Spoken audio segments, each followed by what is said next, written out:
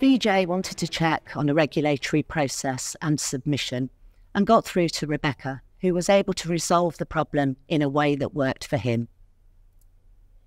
I received a very clear explanation of the procedure to follow for the re enrollment of employees and then for submitting the declaration. It was very simple to correct a mistake I made. My sincere thanks go to Rebecca. Rebecca is always attentive to our customer needs and she understands the importance of helping employers remain compliant.